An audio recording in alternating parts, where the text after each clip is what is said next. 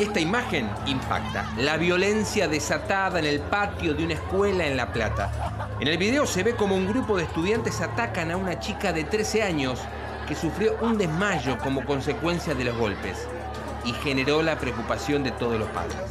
¿Qué quilombo se armó? Nada más. ¿Viste cómo son los chicos? Entonces, eso es lo que a nosotros como madres y como familia nos preocupa. ¿Cómo mandamos a nuestros hijos? Mi hijo directamente hoy no vino. ¿Entendés? No fue el único acto violento, hubo más y en la calle, y hasta circularon amenazas vía redes. Esto pasó con otro grupo, un chico con un fierro, adultos, discusiones, gritos y una nueva y feroz agresión.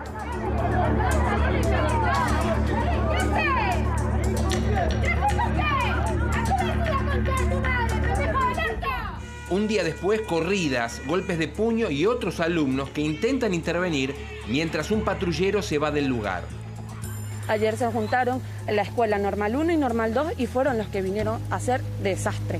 Desastre, porque yo, yo tuve que salir corriendo porque estábamos haciendo la fila de mercadería, yo corrí a resguardar a mis dos nenes y yo estuve al lado del auto que le tiraron una piedra grandísima. Eh, si entre ellos hay alguna disputa, que para eso estamos conversando, para eso estamos tratando de entender qué puede estar pasando y cómo los podemos ayudar. Siempre la escuela eh, piensa en la vida de, de sus estudiantes, que a veces es más complicada. Hay versiones de una posible venganza ante los primeros ataques. Hubo destrozos en las inmediaciones del colegio y varios autos que estaban estacionados terminaron con los vidrios destruidos.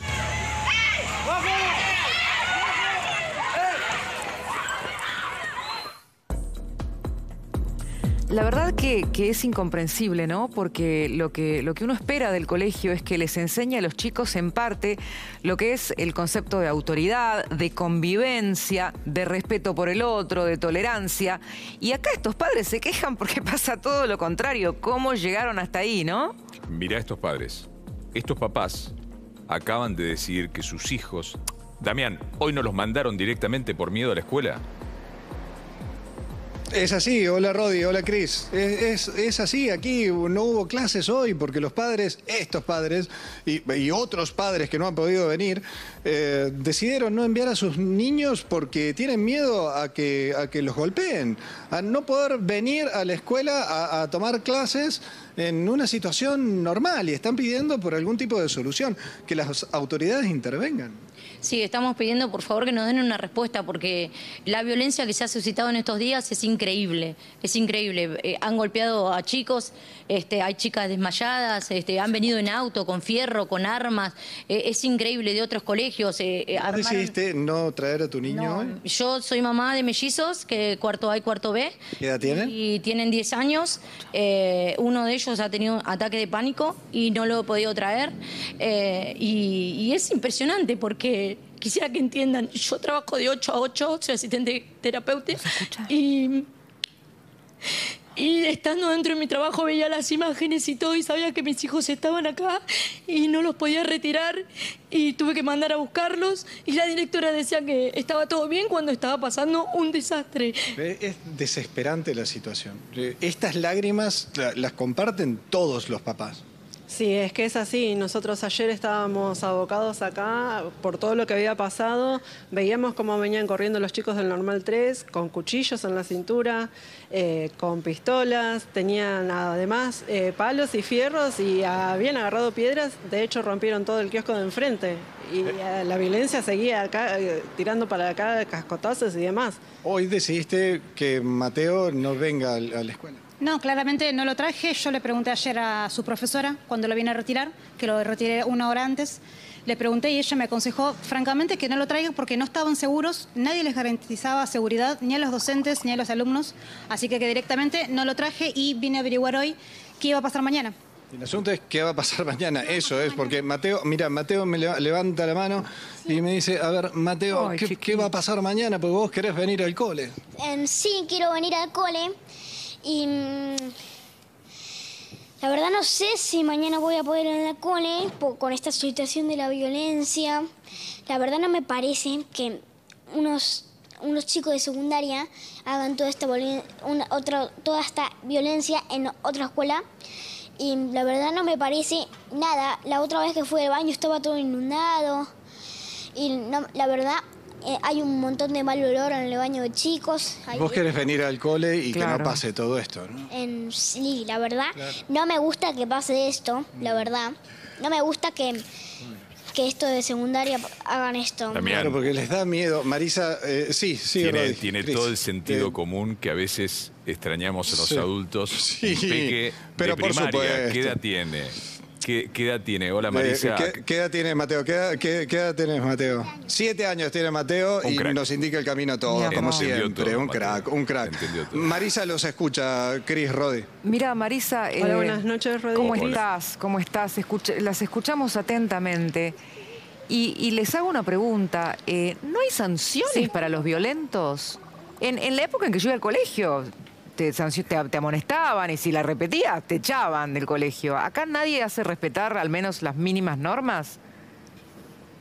No, la verdad que no, Cris. Eh, las sanciones estaban para el día de hoy. A aquellos chicos de la secundaria que no venían le ponían eh, la falta y los iban a sancionar eh, con un acta. Le iban a hacer un acta a los chicos que no venían por tener miedo de venir al colegio con esta situación. Es el mundo del Al revés. Pero Iban a amonestaciones no les sancionar ponen. No, no, no, increíble. faltaban por miedo. Increíble lo que estás contando. Sí, literalmente, Rodi.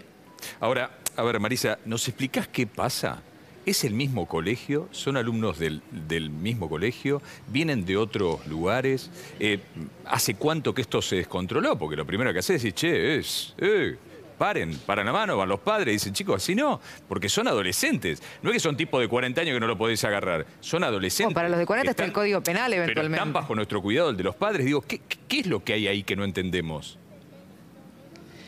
La verdad todo esto empezó el martes cuando eh, fue la primer pelea inicial. Eh, vinieron después eh, con todo lo que pasó entre la pelea interna que había dentro de la secundaria a la mañana.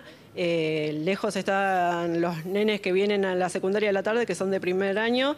Y todo empezó acá adentro y, es- y los mismos alumnos de la secundaria fueron convocando a amigos de otros colegios para que vengan a ayudarlos a, a resolver con violencia lo que les pasaba a ellos adentro del establecimiento. Ahora, Marisa, eh, supongamos que la violencia que hay en la calle lamentablemente impregna la convivencia de los chicos y arma estas guerras de bandas. ¿Dónde están las autoridades que al que lleva cuchillos y pistolas no lo sanciona y lo sanciona al que tiene miedo porque no quiere que le pase algo?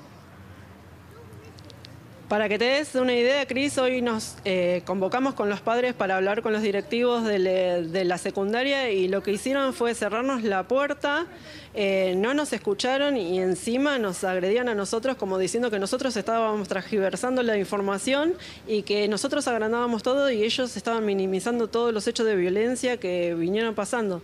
De hecho, ayer, eh, como dije recién, pasaron muchas cosas graves y estaban los chicos dentro de, la- escuela, los, los nenes de la primaria y del jardín, básicamente.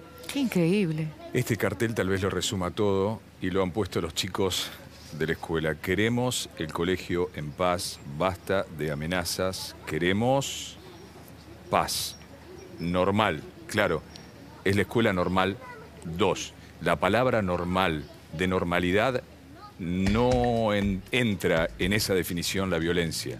Eh, y los padres lo único que necesitan y los chicos lo único que quieren es estudiar en paz. Los violentos no pueden ser los dueños ni del patio del colegio ni de la calle. Ministerio de Educación, Consejo Escolar, las autoridades de la escuela, alguien que intervenga, alguien. Estos papás no están así, eh, ahí esta noche porque tienen ganas.